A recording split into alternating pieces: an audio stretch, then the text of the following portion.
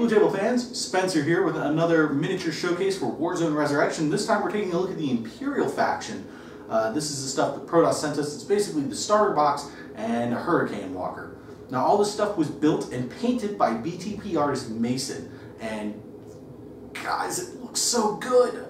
So I thought we would take a closer look and show off these incredible looking models and the great paint job that Mason did on them. Alright, so the first guy we're going to look at here is the Imperial Officer you get in the kit.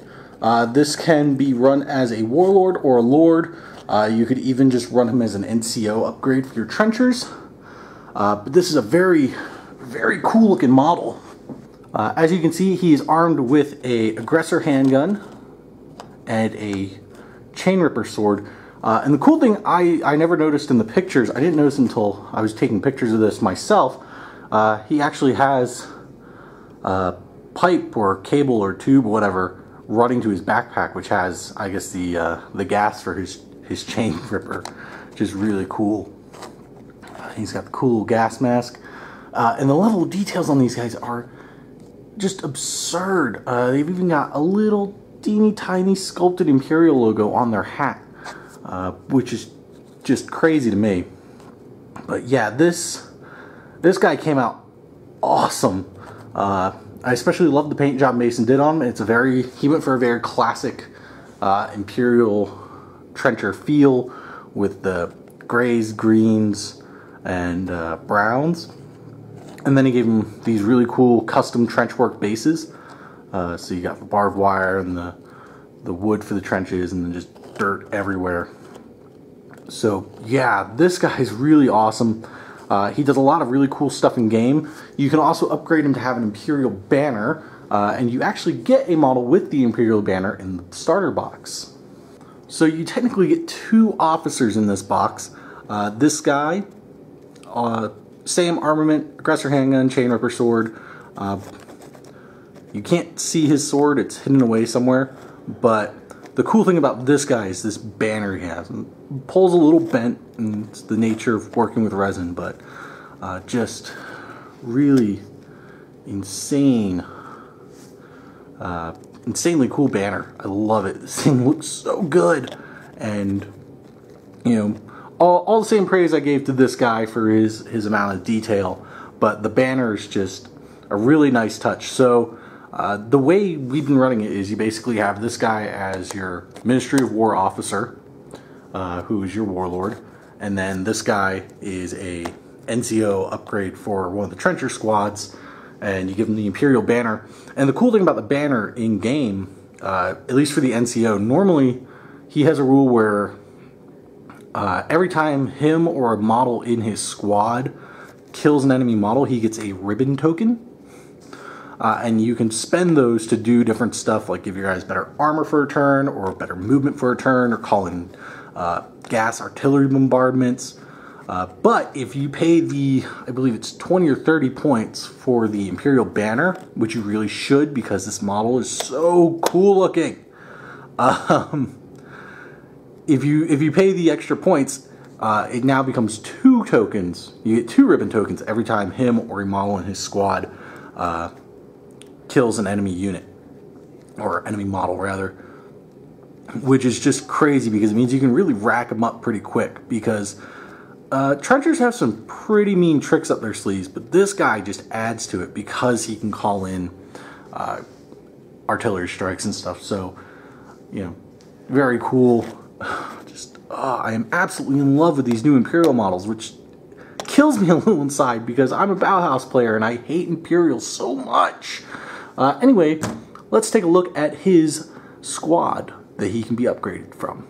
Alright, so in the starter box, you also get 10 trenchers. Uh, the, we have these broken up into two squads of five. We've got squad one and squad two markings on their shoulder pads, which was a really nice touch. Uh, and man, the trenchers, oh guys, these came out incredible. They they look like the old trencher models, but infinitely better. And that's saying something because the old trencher models aren't necessarily bad for, you know, for what they are and when they came out. But you know, modern miniature making technology has just come so far and made these guys look incredible. Uh, you get all these cool details. Uh, their rifles are very reminiscent of the original, but a little bit sleeker. Got the gas mask, this guy's got a grenade, and they're so dynamic. I mean, you've got uh, a kneeling pair of legs, two pairs of running legs, one guy really bracing hard, and another guy that's just kind of standing. Uh, and the really sort of bracing hard legs are for this. This is the new Charger HMG miniature. Uh, and trenchers are interesting because uh, pretty much every other squad, it's like one in five models can be upgraded to take a special weapon. In trenchers, one in five models has to take a charger. So if you have a 10 man squad of trenchers, you're gonna have two heavy machine guns. And these things are like strength 14, rate of fire 3. I think that just broke. Yeah, it did. It's a good thing Mason's an assembler. Um, just, it's a crazy good gun. And I really like it because they kept the, the old feel of the Charger while making it sleeker, a little more streamlined because the old one was super huge and super clunky looking. And so this came out looking a lot better. And just to give you, just to show off some of more of the detail on these guys, you know, you can see on their their other shoulder here, they all have an Imperial logo, and that's sculpted on. Uh, you know, just and neat little things like they got the little shovel on their backpacks and stuff like that. So I'm really, really happy with how the trenchers came out. They look fantastic. Mason did a great job uh, of capturing that classic feel, and I really only showed him one picture, so I don't know if he went back and looked up more pictures of these guys, but he got them down to a T, and I'm really digging it. And the bases, again, just look awesome. So you get one more thing in the Imperial starter box, and it's a bit of a doozy. Oh, it's the cutest little tank there ever was. Yeah, you get a Greyhound tankette. Um, it's just this, it's the most adorable little thing ever. It's just this cool little mini tank. And it's, again, it's just really neat. Uh, I like that you got the trencher piloting it and then his backpack is sitting there. Uh, again, got the logo on his shoulder pad and the logo on the front are both uh, sculpted detail. He's got the little one on his shoulder pad. And, and this thing's just so cool. I'm really, really in love with this thing. It's just, it's a very cool looking model and it's insanely deadly in game because it has a gas weapon. So its gun uh, works kind of like a torrent weapon in 40k where you uh, pick a point on the table within range put down the flamethrower template and then it goes from there. So it's very insane. It's deadly, uh, you know, for its diminutive little size. But there's a small part of me every time I see this just goes, that thing can't be dangerous. It's adorable. So, you know, kudos to Prodos for uh, for really making something so cute and so deadly all at once. Uh, and hopefully this is a precursor to uh, getting some more vehicles. They, I, I believe they've mentioned the, uh, I believe it's called the, the Hedgehog Necromower, which is one of the Wolfbane vehicles. So when the full Imperial book comes out, you can expect to see more stuff kind of like this. Now, Prodos sent us one other thing uh, that I've already mentioned, and that would be the Hurricane.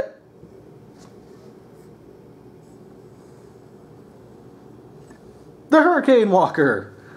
Yeah, this thing is huge. In fact, it's so freaking big. I've had to zoom the camera out all the way and back the tripod up about an inch or two just to get all of it in frame. And that makes me so happy because this thing looks incredible.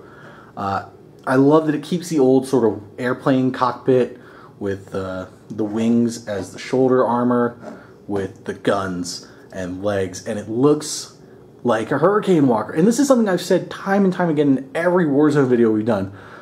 Prodos has just absolutely captured the feel and the design of these miniatures uh, of their original counterparts.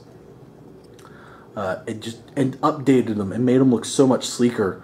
Because uh, the original Hurricane Walker had the big heavy Charger HMG. and just to give you an idea, uh, there's a size comparison between the two Chargers. And that's probably about how big the old uh, the old Charger on the old metal miniatures was back in the day. Uh, but the, the old Hurricane Walker had a second machine gun. This one has a gas gun. And that's kind of Imperial's thing. They use a lot of gas weaponry. They're very World War One style, uh, which is cool because uh, you know this year will mark the uh, hundredth anniversary of the start of World War One uh, this August. Which, as a history nerd, I'm very, very excited. About. I'm going to move this guy out of the way. But yeah, this thing is huge and intimidating and impressive. Uh, and you saw it in parts on our last Warzone unboxing, but seeing it all put together and painted, it's just... Oh, again, I hate saying how good these look because I really don't like Imperial, but... And this is probably one of the best models in the line so far, without a doubt. This has to be my favorite model. I'm really happy with the upgrade they did to the Vulcan battlesuit uh, for my Bauhaus army, but God, guys, just just take this in for a second at how insanely massive this is because there's a dude standing next to it. I mean, it's huge. It comes on its own custom made resin 80 millimeter base. The thing is just insane. And it's littered with cool little details like the back, uh, the power plant here is all sorts of detail. It's got all these pipes and, and exhaust ports and stuff. And you got all these cables here and vent. Uh, again, you've got a nice sculpted Imperial logo. You've got this radioactive logo up here. Uh, the gas gun looks incredible. You got these little uh, hazard hazmat logos, I believe. If somebody knows what those actually are, please feel free to correct me. You got another little radioactive symbol up there. Uh, and the legs, you know, all the detailing you expect. You've got little spring pistons and stuff like that. And they just, oh man, looks so good. And I, yeah, you can see it on this camera. Uh, you got all these rivets all over the place. And it's so juicy and I love it. And, oh, guys uh, if you play Imperial or you're thinking of playing Imperial, get one of these. It's so unbelievably awesome. And it's just, it's a hefty model and it really just ties together an Imperial faction so well. Alright guys, thanks for joining me, checking out these awesome Imperial miniatures from Prodos. A big thanks to Prodos for sending these to us. Huge thanks to Mason for building and painting them. You can, in the very near future, expect to see these on Battle Report because these things are awesome, and I'm sure Mason really wants to play with more, play with them more, uh, since he's only gotten one game in with them. So, well, yeah, he's only gotten one game in with them so far, and he hasn't gotten to use the Walker yet. So, be sure to keep here to BTP for more Warzone Resurrection uh, showcases and We'll be doing tips and tactics videos for it and battle reports and all that good stuff. And if you're interested in getting a Warzone Resurrection army painted by Blue Table Painting, send an email to projects at bluetablepainting.com. Talk to Steve. He'll get you set up. He'll get you all the prices. And guys, you will not be disappointed in what you get because these are fantastic miniatures. And so far, everything our guys have done have come through looking awesome. So again, if you're interested in getting a project for Warzone, send an email to projects at bluetablepainting.com. Thanks for watching, you guys. I hope you got your inspiration for the day, and I'll see you later.